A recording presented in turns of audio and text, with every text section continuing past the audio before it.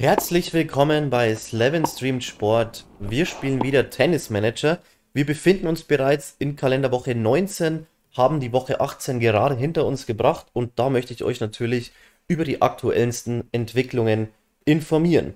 Hier haben wir erstmal die Trainingsberichte von dieser Woche. Wie gesagt, ist jetzt bei beiden ein bisschen höher, als es sonst der Fall war, weil beide keine Turniere gespielt haben, deshalb also viel Zeit auf dem Trainingsplatz verbracht haben. Dann gibt es eine gute und eine schlechte Nachricht. Zum einen wurde die Registrierung von Rudi Mollecker für Roland Garros, das sind die French Open, abgelehnt. Also, leider darf Rudi Mollecker nicht an den French Open teilnehmen. Das ist sehr, sehr schade.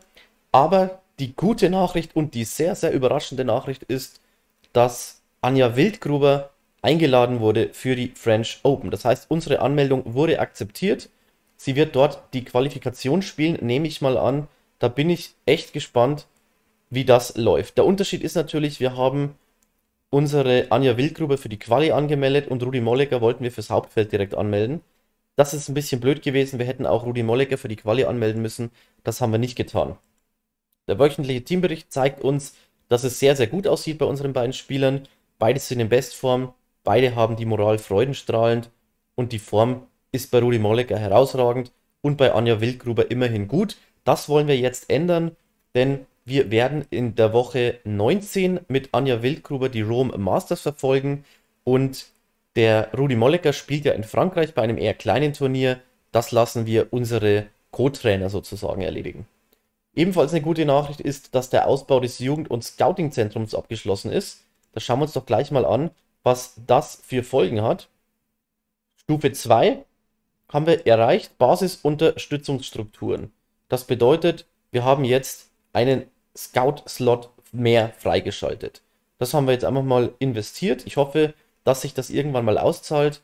Geld haben wir ja nicht mehr so viel, ansonsten würden wir dann im nächsten Jahr wahrscheinlich das Business Center nochmal ausbauen.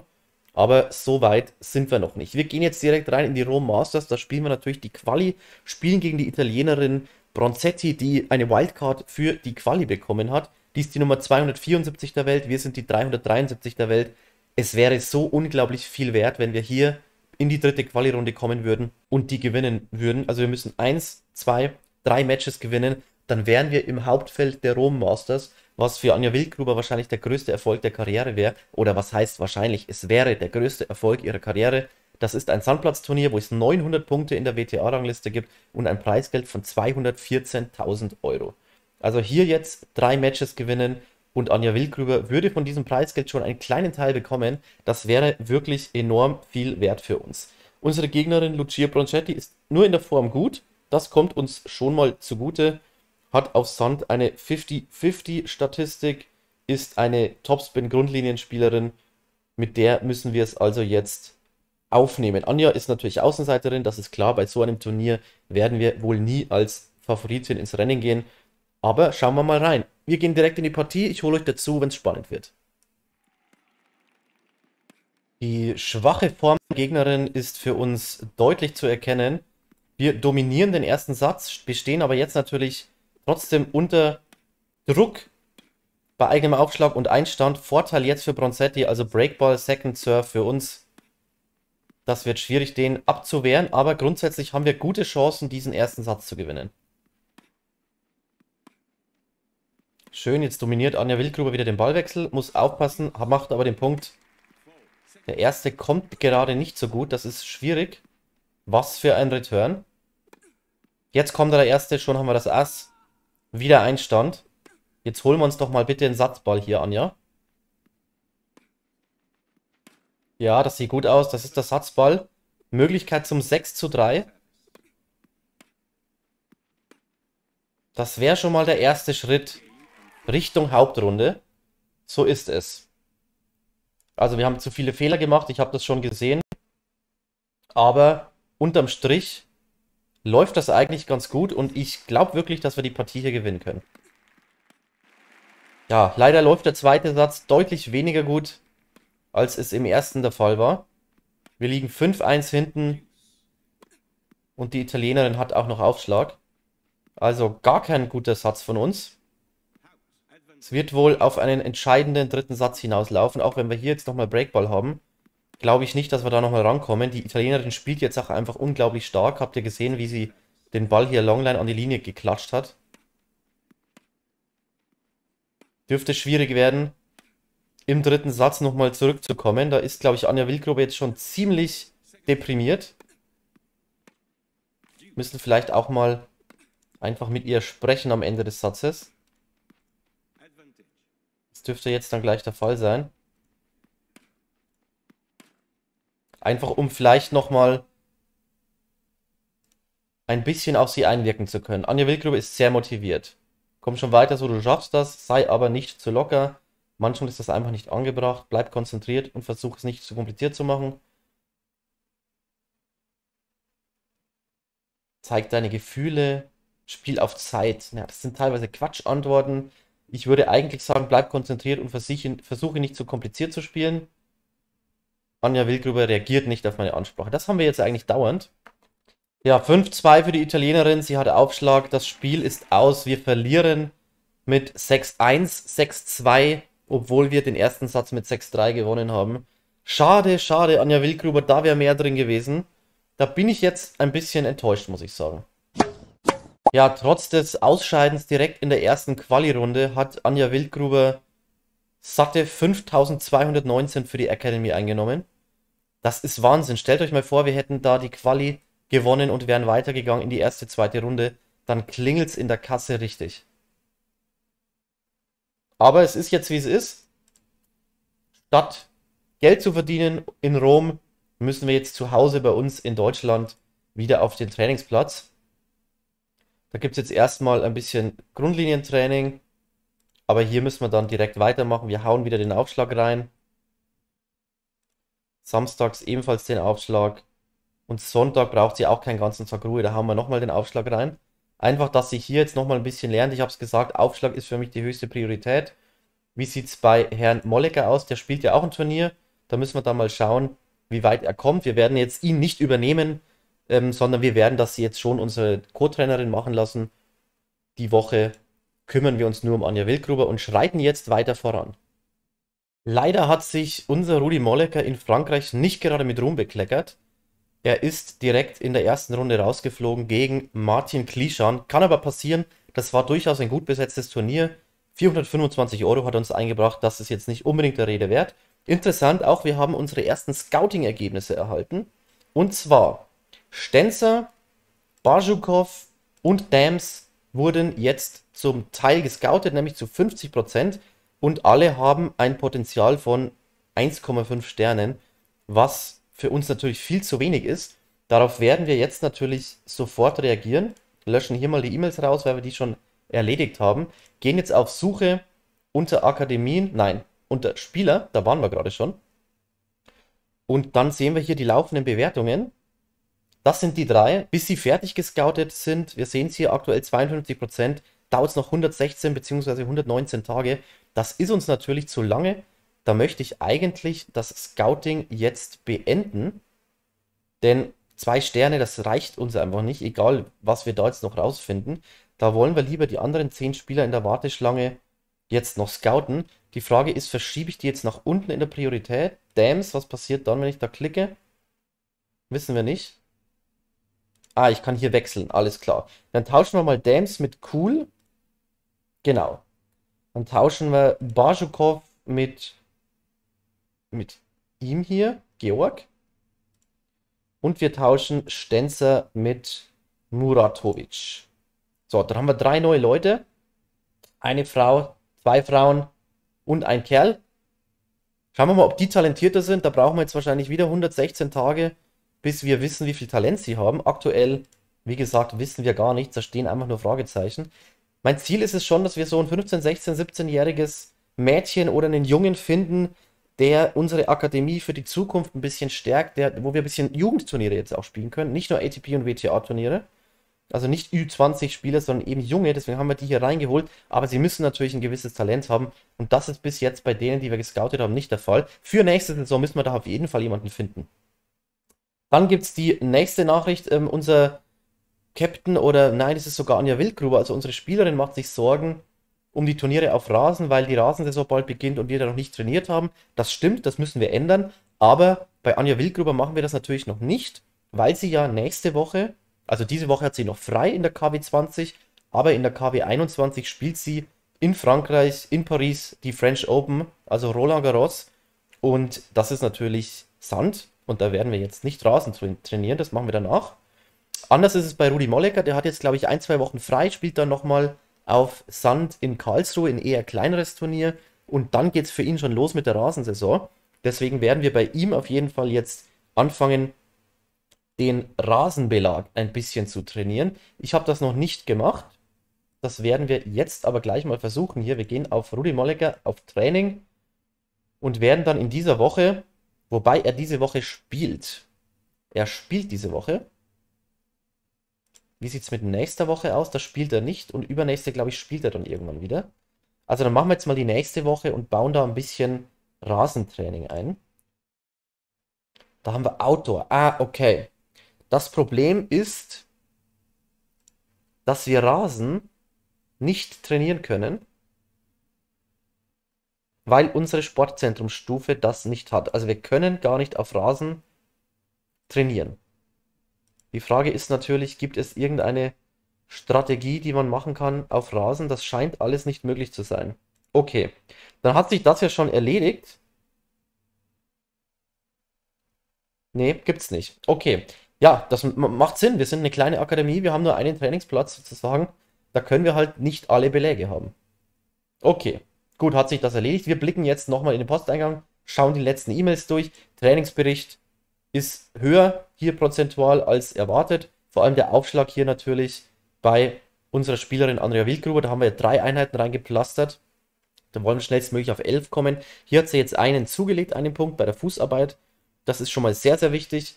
Aber wie gesagt, da sie beide nur ein Spiel gehabt haben, haben sie viel Zeit zum Trainieren gehabt. Also, wer die Spiele verliert, muss auf den Trainingsplatz kommen. Ganz einfach. So, Karlsruhe wurde akzeptiert, das habe ich euch schon erzählt. Das ist nochmal ein Sandplatzturnier, bevor es dann auf Rasen geht. Jetzt schauen wir trotzdem nochmal, wo es für die Spieler hingeht in dieser Woche. Anja Wildgruber, da sind wir jetzt wieder in KW 1, das macht natürlich keinen Sinn. Wir wollen zu KW 20. Ich glaube, dass sie nicht spielt. Genau. Sie spielt in der KW 1 die Quali Roland Garros. Das heißt, wir bauen jetzt für sie in dieser Woche ein schönes Trainingsplänchen zusammen, wo sie sich gut erholt, wo sie dann richtig fit zum Match nach Frankreich reisen kann. Rudi Mollecker spielt in Heilbronn diese Woche. Ein eher mittelmäßig wichtiges Turnier. Wir schauen uns mal den Spielplan gleich an.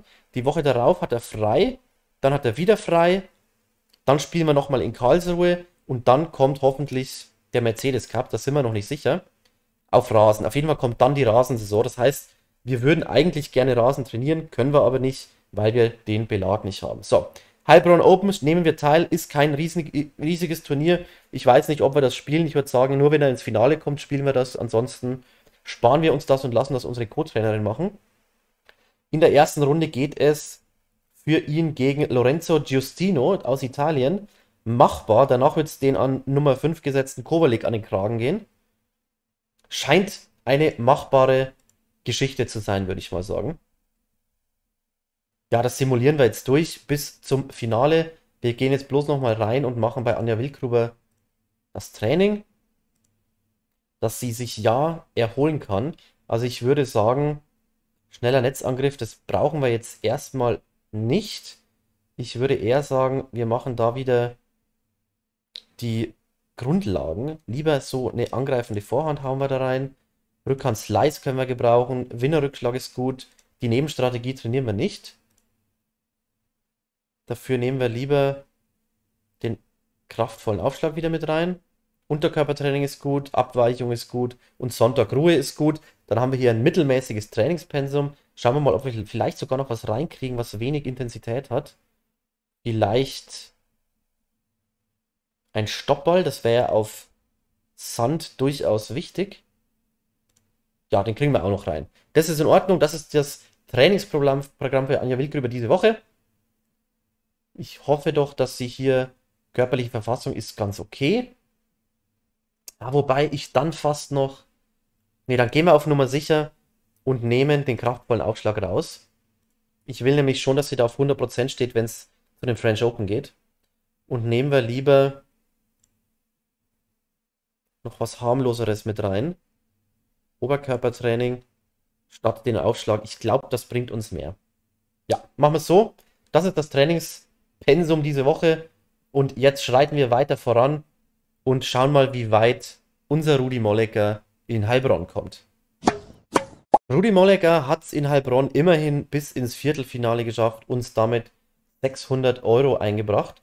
Schauen wir mal, gegen wen er rausgeflogen ist und wen er selbst rausgeschmissen hat. Da müssen wir natürlich den Namen wechseln und zur KW 20 navigieren. Die haben wir hier, Heilbronn. Würde schon gerne mal wieder ein Turnier gewinnen mit ihm. Haben wir ja schon mal gemacht, schon dreimal, glaube ich. Also, wir haben Kovalik geschlagen, wir haben Pereira Sil Silva geschlagen und sind dann gegen den an zwei gesetzten Diere rausgeflogen. 6-3, 7-6, ja, das ist in Ordnung. Das ist in Ordnung, würde ich sagen, damit können wir leben. Das ist nicht so schlecht. Hätten es fast ins Halbfinale geschafft. Das sind gute Spieler am Start. Also, das ist in Ordnung. Immer mal so ins Viertelfinale kommen, ein paar Pünktchen sammeln vielleicht. Damit können wir zufrieden sein. Aber jetzt kommt wirklich das große Highlight, das größte Highlight natürlich bislang, das wir in diesem Save überhaupt hatten, denn es geht zum ersten Grand Slam Turnier mit Anja Wildgruber. Sehr überraschend, dass es sie sein wird zur Quali nach Paris zu den French Open. Und da schauen wir uns natürlich das erste Quali-Spiel gleich an. Zuerst noch den Trainingsbericht. Mollecker hat nicht so viel zugelegt, hat ja ein paar Spiele gehabt. Wildgruber hat zugelegt. Ich hoffe, dass sie sich ein bisschen erholt hat. So, Trainingsturnierregistrierung zum Ra zur Rasensaison. Sagt er hier, was er haben möchte. Das sind die wichtigsten Turniere. Die schauen wir uns dann noch an. Ja gut, Sand gehört da natürlich nicht in die Liste rein. Zeitraum Rasensaison und sie hat kein einziges Rasenturnier, okay. Naja, wir kümmern uns da selber drum. Also das ist eine E-Mail, die wir natürlich einfach ignorieren. Wir kümmern uns ja schon die ganze Zeit selbst um die Turnierregistrierungen, weil wir da natürlich den Finger schon drauf haben wollen. So, jetzt geht's nach Roland Garros, Leute. Ich habe richtig Bock. Richtig, richtig, richtig Bock. So, Mollecker hält eine Wildcard für die Nottingham Open. Das ist nicht so schlecht. Das ist Rasen. Ich würde sagen, das nehmen wir an. Da können wir uns dann schön einspielen. Aber beim Mercedes Cup darf er nicht teilnehmen. Das ist wieder schade. Was wäre es gewesen? 14.06. bis 20.06. Ja, stattdessen spielen wir jetzt hier. Deswegen kommt auch diese Einladung rein. Hätten natürlich lieber hier mitgespielt, hätte es deutlich mehr Punkte und Geld gegeben. Und es wäre halt in Deutschland gewesen. Schade, dass sie uns da nicht mitspielen lassen. Und ebenfalls abgelehnt wurde die Einladung oder die Anmeldung für Anja Wildgrüber für die Bowl Open in Kroatien. Ebenfalls gleiche Zeitraum. Schauen wir mal, ob es da alternativ Möglichkeiten für uns gibt. Oder ob da jetzt überhaupt die Deadline schon geschlossen ist. Also wir sind jetzt hier bei Anja Wildgruber, die jetzt eh erstmal die Quali der French Open spielt. Dann kommen ja die French Open. Hier ist sie dann nicht genommen worden. Das heißt, dann wären wir hier mit dabei. Die Mallorca Open wollen wir uns dann gönnen. Das ist dann eben die Rasensaison. Genau, Wimbledon versuchen wir einfach mal. Genau, das ist dann die Rasensaison. Also das haben wir dann nach den French Open direkt auf Rasen. Bei Rudi Mollecker müssen wir uns das mal anschauen, was wir hier jetzt gemacht haben. KW 21 sind wir gerade, da ist spielfrei. KW 22 ist spielfrei und KW 23 spielt er in Karlsruhe ein ganz kleines Turnier. Das sollten wir dann aber mal schauen, dass wir das gewinnen können. Und dann versuchen wir auf Rasen, genau, Nottingham Open sind wir jetzt eingeladen worden. Und dann versuchen wir hier in Deutschland wieder auf Rasen zu spielen. Und dann natürlich auch eventuell bei Wimbledon teilzunehmen, wobei wir uns hier angemeldet haben. Wieso versuchen wir nicht uns bei Wimbledon zur Quali anzumelden. Lass uns doch lieber das machen. Dafür müssen wir uns hier aber abmelden. Ah ja, wir haben schon wieder versucht, ihn direkt bei Wimbledon anzumelden. Das machen wir nicht. Wir melden ihn natürlich zur Quali bei Wimbledon an. Das haben wir vorher ja bei den French Open falsch gemacht, deswegen spielt er nicht mit. Also die müssen natürlich beide Quali spielen, das ist ja ganz klar. Okay, das ist der Plan. Also jetzt French Open mit Anja Wildgruber und wenn es richtig geil läuft, dann noch Wimbledon mit den beiden. Da habe ich richtig Bock drauf. Aber jetzt gehen wir direkt rein zur Partie von Anja Wildgruber. Shinikova heißt die Gegnerin in der ersten Quali-Runde. An 10 gesetzt in der Quali. Das ist natürlich Wahnsinn. Schaut euch mal diese Quali an. Da trifft man schon auf echt gute Spielerinnen. Schauen wir gleich mal, wer da an 2 gesetzt ist. Pauline Parmentier. kennt man natürlich unter Tennisfreunden und an 1 gesetzt. Shamshonan kenne ich nicht persönlich, aber wir spielen gegen die 10, 149 der Welt. Ist für Anja Wildgruber natürlich eigentlich schon eine Nummer zu groß, muss ich sagen. Ich hoffe, dass es trotzdem schön Kohle gibt, auch wenn wir hier direkt rausfliegen. Wir geben unser Bestes. Shinikova ist in der Form schwach. Und auch Sand hat sie kein einziges Match dieses Jahr gewonnen. Das klingt doch gut. Zwei Satzbälle für Shinikova. 5-4 führt die Bulgarin. Wir haben einen Aufschlag. Es steht 15-40, jetzt 30-40. Der erste Aufschlag muss kommen. Er kommt nicht. Aber wir sind im Ballwechsel. Schöner Slice, schöner langer Ball. Da wird der Ball verteilt. Genauso wollen wir das sehen. Oh, der ist zu gut. Satz ist weg. 6-4 für die Bulgarin. Aber die gute Nachricht ist, wir können mithalten. Matchball, Shinikova, eigener Aufschlag 5-3. Wieder ist es nur ein Break. Aber am Ende ist das entscheidend. Es ist vorbei. 6-4, 6-3 für die Bulgarin. Anja Wildgruber kann direkt wieder heimfahren. Ich bin jetzt sehr gespannt, was uns diese Teilnahme gebracht hat. Wenigstens hat sie uns genau zugehört. Ja, 7500 Euro hat uns das gebracht. Also einfach nur mitspielen, ohne dass man wirklich gewinnt. Das bringt manchmal schon einiges. Wir schauen uns jetzt mal an, ob das hier irgendwo aufgetaucht ist. Wahrscheinlich noch nicht, da müssen wir wahrscheinlich noch warten. Hier sehen wir zum Beispiel die Rome Masters, aber 0 Punkte gebracht. Hier, da haben wir einiges geholt an Punkten in Minsk. Das war letztes Jahr, das waren wir nicht. Also wir müssen schon langsam schauen, dass wir mal wieder Spiele gewinnen. Ich habe das Gefühl, mit Anja Wildgruber gewinnen wir zu wenig Spiele. Klar, wir nehmen an eigentlich guten Turnieren teil. Vielleicht müssen wir mal wieder eine Stufe zurückschalten. French Open also ist Geschichte. Wir können uns jetzt danach nicht mehr anmelden. Das heißt, wir haben jetzt mit Anja Wildgruber Pause und spielen höchstens dann wieder in Woche 25, wenn ich das richtig sehe. Kurzer Überblick mit Mollecker um das nicht zu vergessen, da spielen wir jetzt die Heilbronn Open. Das werden wir aber, ne, die haben wir gerade gespielt. Wir spielen jetzt erstmal zwei Wochen nichts, dann kommt Karlsruhe und dann kommt Nottingham Open die 24. Woche. Das wäre dann das erste. Soweit werden wir auf jeden Fall jetzt voranschreiten. Also schön das Training machen. Hier jetzt noch eine Pressekonferenz. Großartig geschlagen, ja. Nein, das war schon in Ordnung. Wir haben nur mit einem Break jeden Satz verloren. Das ist schon in Ordnung gewesen. Das war keine so schlechte Leistung. Es ist halt auch einfach so, dass da nur richtig gute Spieler und Spielerinnen am Start stehen. Schauen wir uns mal die aktuellen Ranglistenplätze an. Rudi Mollecker ist auf 144, Anja Wildgruber auf 368. Damit haben wir beide schon deutlich verbessert. Richtig geil wäre halt, wenn wir Mollecker dieses Jahr noch in die Top 100 kriegen würden und Wildgruber vielleicht in die Top 250. Das ist noch ein ordentlicher Schritt. Aber ich glaube, wir haben da eine Chance. Jetzt wird erstmal trainiert ein paar Wochen und wir sehen uns wieder, wenn es wichtige News gibt oder ins nächste wichtige Turnier geht. Wir befinden uns am Ende der Kalenderwoche 23. Wir gehen jetzt mal die E-Mails der letzten zwei Wochen durch und dann berichte ich euch von einem Finale, das wir gleich spielen werden.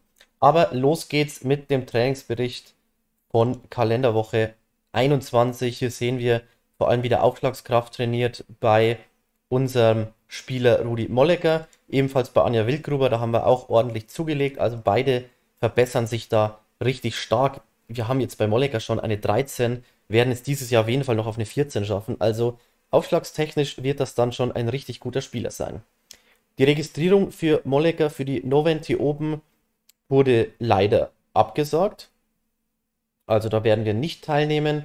Ebenfalls abgelehnt wurde die Teilnahme von Anja Wildgruber bei den Mallorca Open. Das wären mal Turniere gewesen, wo es wieder ein bisschen um Preisgeld geht und wo wir eine Chance gehabt hätten. Dann haben wir den wöchentlichen Teambericht bekommen. Wir verschlechtern uns natürlich ein bisschen in der Rangliste, weil wir keine Punkte dazu holen. Aber die körperliche Verfassung, die Moral und die Form ist bei beiden wirklich sehr, sehr gut. Dann kommen wir mal auf die monatliche Überprüfung der Akademieziele. Denn hier sieht es richtig gut aus. Also das Vertrauen des Vorstands ist in jedem Bereich hoch. Finanztechnisch gesehen könnte es noch eng werden. Das sehen wir hier auch gleich beim Überblick über die monatlichen Finanzen. Wir haben einen Kontostand von 43.500 jetzt noch. Da betrug er noch 78.000. Wir verlieren halt jeden Monat richtig viel Geld, weil die Mitarbeiter so teuer sind. Für die Akademiegeschäfte kriegen wir 2.000 und Preisgelder haben wir jetzt 13.800 bekommen. Das reicht natürlich hinten und vorne nicht, um die Kosten zu decken. Wir werden also in zwei, drei Monaten auf jeden Fall im Minus landen. Es sei denn, wir werden nochmal richtig geil finanziellen Gewinn einfahren. Ich hoffe, dass das bei dem einen oder anderen Turnier noch passieren wird. Trainingspläne oder eher Trainingsberichte der Wochen 22 haben wir hier bekommen. Also hier sehen wir wieder, geht es Schlag auf Schlag weiter. Vor allem Anja Wildgruber hat hier richtig reingehauen. Bei Rudi Molliger hat sich danach ein bisschen in Grenzen gehalten, weil er ja ein Turnier gespielt hat. Dazu kommen wir gleich. Die Darmstadt Open wollten Anja Wildgruber verpflichten, aber das ist Kalenderwoche 26 und da haben wir natürlich abgelehnt, weil wir hoffen, dass Anja Wildgruber in der Quali teilnehmen darf für die Turniere in Wimbledon. Wöchentlicher Teambericht ist die neueste E-Mail, die wir bekommen haben, jetzt hier im Juni. Auch hier alles im grünen Bereich. Anja Wildgruber ein bisschen müde, die haben wir ein bisschen härter rangenommen im Training, macht gar nichts. Bei Rudi Mollecker sehen wir in Bestform kein Wunder, denn der spielt aktuell ein Turnier. Und genau da möchte ich jetzt darauf zu sprechen kommen, denn unser Herr ist da bis ins Finale gekommen. Kalenderwoche 23 in Karlsruhe. Es ist ein kleines Turnier, es gibt nur 3200 Euro. Und wir sehen schon, Rudi Mollecker ist an Nummer 1 gesetzt und ist da seiner Favoritenrolle bisher gerecht geworden. Zuerst mal ein Freilos bekommen, dann hat er Schirnhoff mit einer Wildcard 6-3, 6-4 nach Hause geschickt, dann hat er den Spanier Lobato mit 6-4, 6-0 nach Hause geschickt. Jetzt hat er das Halbfinale gerade gewonnen gegen den Tschechen Leheka 6-3, 6-4. Und jetzt steht er im Finale gegen den an 7 gesetzten Spanier Boluda Purkis, der die Nummer 533 der Welt ist. Ich würde sagen, wir spielen das nicht. Wir simulieren das einfach durch, lassen das unsere Trainer machen, dafür sind sie da. Und ich hoffe doch, dass wir hier zu Hause im heimischen Deutschland ein Turnier gewinnen können. Möchten Sie im Match teilnehmen? Nein, ich möchte nicht am Match teilnehmen. Ich möchte, dass das übernommen wird. Und ich hoffe doch, dass das zum Turniersieg reicht. Molliger Ergebnis in Karlsruhe, Titel. Jawohl, 800 Euro hat er verdient. Naja, also er hat mehr verdient. Wir kriegen ja nur ein Viertel davon. Interviewanfrage lehnen wir jetzt mal ab. Aber schön, wirklich schön. Ich würde gerne das Ergebnis sehen. Da muss ich wahrscheinlich jetzt wieder dorthin navigieren, wie er es denn gewonnen hat, das Finale. Ob er ohne Satzverlust durch das Turnier marschiert ist zum Titel. Schauen wir uns doch gleich mal an. 6-0, 6-1. Also, das war kein spannendes Turnier. Wir haben ja alle wegrasiert. Das ist schon, das ist schon mal geil, dass man auch mal wieder ein Turnier gewinnt, finde ich. Kann man mal machen. Das war jetzt eher ein Turnier, um sich ein bisschen aufzubauen, um mal wieder ein paar Pünktchen zu holen. Schauen wir doch gleich mal, ob das hier schon auftaucht. Wahrscheinlich müssen wir da erst einmal weiterklicken. Ich weiß auch gar nicht, wo es aufgelistet wird. Ja, eher weiter unten. Karlsruhe müsste es ja sein. Hier haben wir es. ATP Rookie 20. Genau. Karlsruhe Siegerpunkte 20. 20 Punkte haben wir bekommen. Immerhin. Das sind Punkte, das ist ein bisschen Geld. So. Trainingsbericht läuft gut. Bei der Balance wird sie gleich einen Punkt zunehmen. Hier schauen wir uns jetzt mal an den Bericht über den Zeitraum der Sandsaison. Da haben wir überall rot, überall verloren, außer beim Geld haben wir ein bisschen mehr eingenommen. Ja, ist nicht so schlimm, wir haben 15 Ranglistenpunkte verloren, wir haben viel, viel weniger Turniere gespielt. Ihr merkt das ja, wir rushen jetzt richtig durch die Wochen durch. Wir haben den Fokus schon eher darauf gelegt, dass wir große Turniere spielen, die schwer sind, wo wir eher rausfliegen als weiterkommen und natürlich viel trainieren können. Deswegen hier der rote Bereich. Das wird bei Anja Wildgruber nicht anders sein. Ein bisschen anders. Sie hat immerhin Oh, sie hat ja ordentlich Plätze gut gemacht, von 522 auf 378. Bei ihr geht es natürlich auch schneller. Wenn du weiter hinten in der Rangliste bist, kannst du dich schneller verbessern. Geldmäßig haben wir zugenommen. Siegquote ist sogar ein bisschen besser geworden. Also wir können damit schon zufrieden sein und ich würde sagen, jetzt rushen wir direkt weiter, weil heute wollen wir uns natürlich auch noch ein bisschen Wimbledon geben. Wir befinden uns in KW 26 und die gute Nachricht gleich vorneweg. Beide Spieler werden in der Quali zu Wimbledon teilnehmen können. Das sehen wir hier, die wurde akzeptiert. Also da freuen wir uns jetzt richtig drauf. 1,34 Millionen gibt es da. unglaublich, da habe ich richtig Bock drauf. Ich bin gespannt, ob wir es schaffen, zum ersten Mal eine Quali-Runde bei einem Grand Slam zu überstehen. Wöchentlichen Teambericht schauen wir uns an. Das ist jetzt von der Kalenderwoche, weiß ich nicht, wahrscheinlich 22 oder so. Müssen wir uns mal anschauen. Auf jeden Fall ist da noch alles Paletti. Dann geht es weiter zur nächsten E-Mail. Bei den Nottingham Open, da war Molleker im Einsatz, hat er leider nur eine Runde überstanden, hat 500 Euro gebracht. Naja, eher eine schwache Leistung, aber es ist halt eben auch das erste Turnier auf Rasen gewesen. Dann haben wir den Trainingsbericht von Molleker und Wildgruber. Natürlich liegt der Fokus wie immer, aber jetzt natürlich umso mehr auf der Aufstiegs, auf der Aufstieg sage ich schon, auf der Aufschlagskraft, weil natürlich auf Rasen der Aufschlag nochmal eine Nummer wichtiger ist als auf Sand. Auch hier sehen wir es, der größte Fortschritt in der Aufschlagskraft. Wöchentlicher Teambericht. Mollecker haben wir kurz in Urlaub geschickt, weil der nämlich sehr, sehr müde war. Wir sehen auch bei Anja Wildgruber, dass sie müde ist. Das haben wir jetzt hoffentlich in den Griff gekriegt, weil wir in der KW 25 natürlich eine Nummer zurückgeschaltet haben, um die Spieler ein bisschen erholen zu lassen. Trainingsbericht deswegen deutlich weniger Prozent. Wir sehen es, nirgendwo haben wir die 10% Fortschritt erreicht. Macht aber gar nichts. Die können wir jetzt löschen, die haben wir gelesen. Hier kommen noch die neuesten Wildcard-Ideen rein, die wir haben. Also Wildgruber wäre nach Aschaffenburg eingeladen worden, das haben wir abgelehnt. Aber natürlich nehmen wir Mollecker für die Swedish Open an. Da gibt es viel Geld, da gibt es viel Punkte. Da wollen wir auf jeden Fall dabei sein. In Bastard, also ein sehr, sehr großes, bekanntes Turnier. So, wir gehen weiter. Wir schauen uns aber jetzt erstmal an, gegen wen wir spielen müssen. Denn ich würde sagen, bevor wir Wimbledon wirklich starten, beenden wir diese Session. Auch wenn ihr euch darauf vielleicht gerade schon gefreut habt, aber das muss ein eigener Slot sein, das muss eine eigene Ausgabe sein. Wimbledon, das größte, geilste Tennisturnier, das es gibt. Sagen viele, ich finde die French Open geiler, aber muss jeder selber sagen. Wimbledon, schauen wir uns an, Wildgrube. Was haben wir hier für einen Spielplan in der Quali? Wir müssen uns dann nämlich entscheiden, wen wir von den beiden betreuen. Die spielen nämlich beide zur gleichen Zeit am Dienstag in mittags rum. Wir haben Wildgruber, die gegen Giuseppe spielt, das hatten wir doch schon mal. 356, 225 ist, glaube ich, machbar. Aber wenn ich mich nicht täusche, haben wir gegen Giuseppe schon gespielt. Das können wir uns dann noch genau anschauen, wie es da ausgegangen ist. Ich meine, das haben wir knapp verloren. Aber da haben wir eine Chance. Das wäre natürlich geil. Danach würde es ja, wahrscheinlich gegen Coco van der Wege gehen. Das ist dann schon eigentlich eine Spielerin, die wir wahrscheinlich nicht schlagen können. Aber die erste Runde gegen Martina Di Giuseppe können wir schaffen. Das ist doch schon mal eine gute Nachricht. Schauen wir mal, ob auch unser Herr Rudi Mollecker ein bisschen Losglück bekommen hat. Dann müssen wir wieder zu Kalenderwoche 26 scrollen. Bisschen ärgerlich, dass es das nicht automatisch einfach immer die aktuelle Woche anzeigt. So, hier sind wir. Hoffentlich haben wir auch mit ihm ein bisschen Losglück, denn mit ihm können wir wirklich weit kommen. Wenn wir jetzt nicht gleich gegen die Nummer 1 oder 2 spielen müssen. Wo sind wir? Oh nein. Oh, Gott sei Dank. Okay.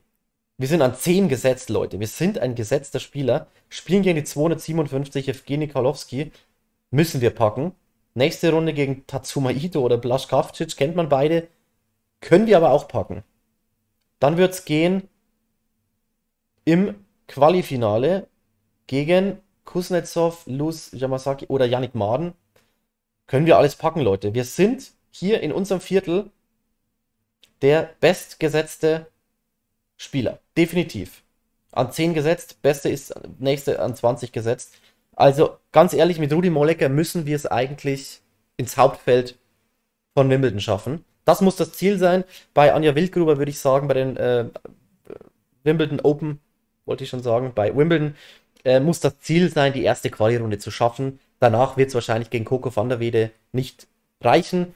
Aber Mollecker, drei Spiele gewinnen, wäre geil. Mit Wildgruber 1, dann hätten wir vier Spiele zusammen gewonnen bei der Quali in Wimbledon. Das wäre geil. Darauf freue ich mich. Ich hoffe, ihr auch. Schaltet also nächstes Mal wieder ein, wenn wir versuchen, in Wimbledon unser erstes Match bei einem Grand Slam zu gewinnen. Schaltet wieder ein bei Slevin Stream Sport.